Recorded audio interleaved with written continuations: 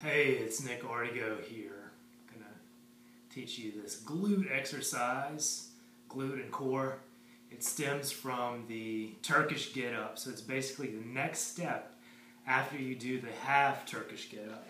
So this is what it looks like. Lie down, pretend that I have a weight in my right hand. This arm stays straight. This arm goes out 45 degrees. This leg goes out 45 degrees.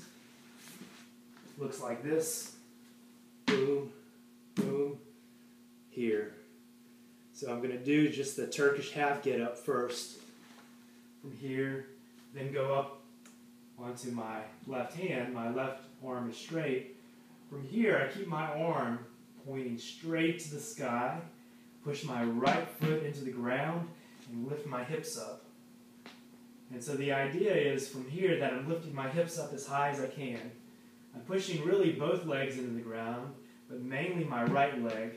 Because if I push my right leg into the ground, my right heel into the ground, that will lift my hips up enough that I can pass my leg through under the space below my hips the Turkish get up. If you're struggling with that part of the Turkish get up, usually has something to do with your glute activation or glute strength.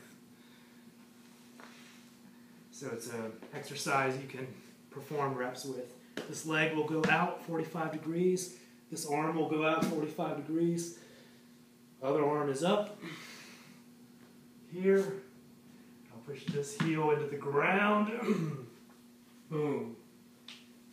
Boom really pushing this hip as high as I can.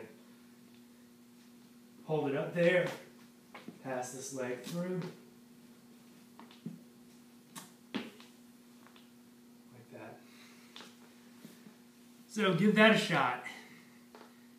Takes you to the next step after the half get up when you're doing the Turkish get up.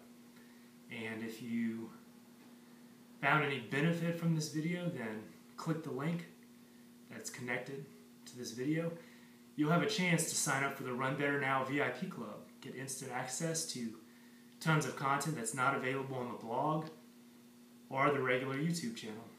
Thank you.